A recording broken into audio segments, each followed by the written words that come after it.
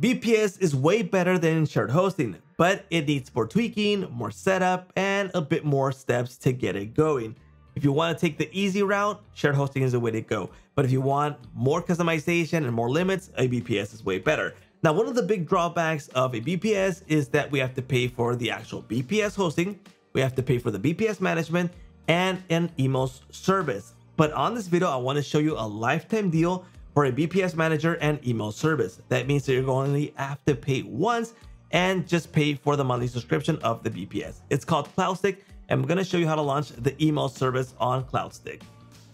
What's up everyone, my name is George and this is CloudStick. The idea is to show you this lifetime deal that's going to give you the VPS manager and your email service that you're only to have to pay once. So this is a lifetime deal and it starts off at $39 for one VPS and let me show you what you're gonna get with that. So let me scroll down here with the plans that are available.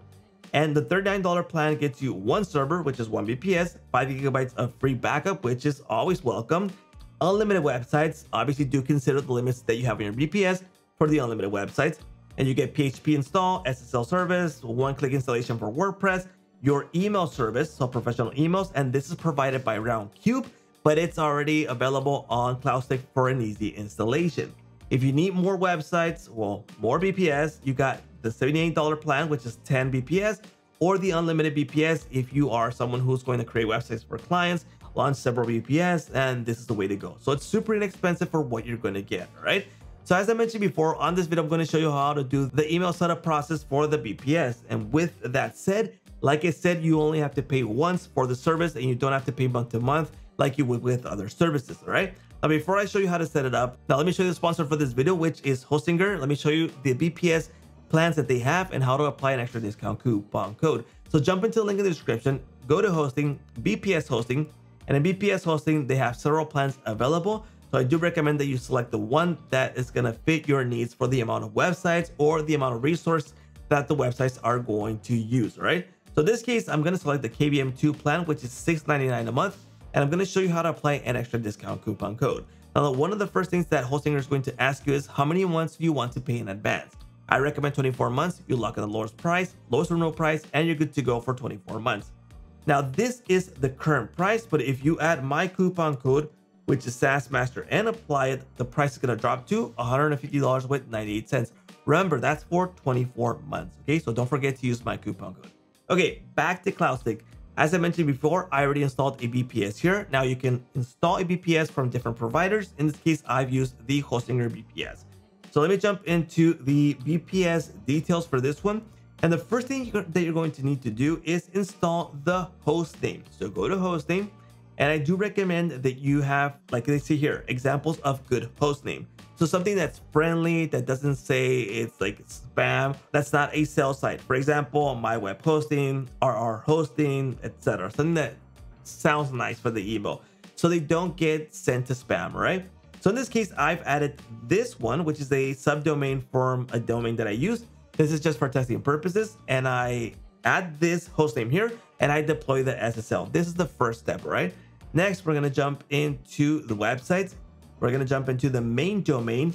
Be aware that this is not going to work with a subdomain. Now be aware that if you're using the main domain on another VPS, another plan, etc., you don't have to actually use it here on CloudStick, but do add it here so you can use the email service for this particular domain, right?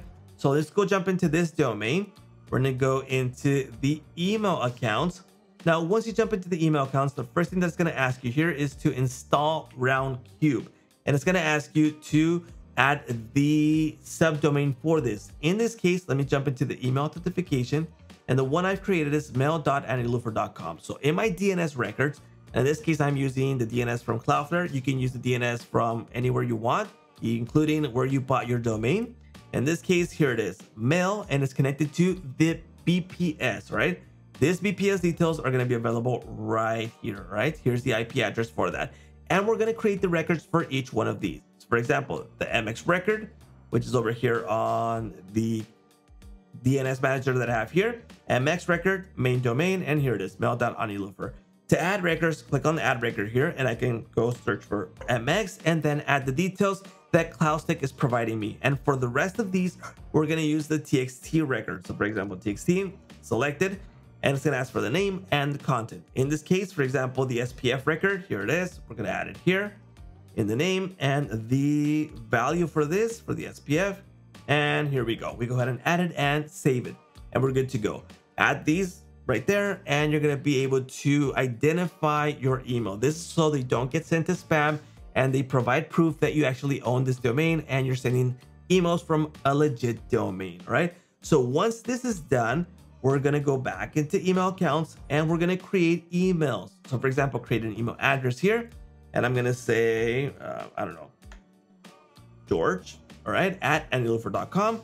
A password, go ahead and select whatever you want. You can limit the storage, which is always a good idea because the VPS does have a limit. It could be a terabyte, five gigabytes, etc. So set a limit there, or you can set unlimited.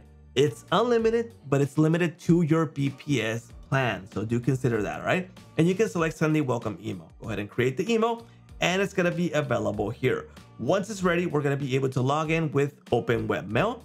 Now it jumped to my mail.andylufer domain and I'm able to log in using Roundcube Webmail that's provided by CloudStick.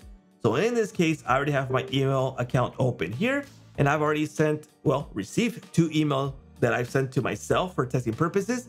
And here it is, test at andylufer.com. And I'm able to send out emails, receive emails. I can set this up on my phone if I like to receive the emails there. So it's super easy to set up here with CloudStick service. So you can have your websites here, you can have your email service here with this one-time payment.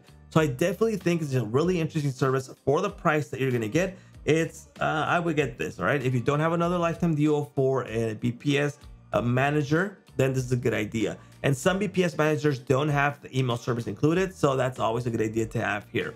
But there you go. If you want to check out CloudStick, the link we provided in the description, and that's a wrap.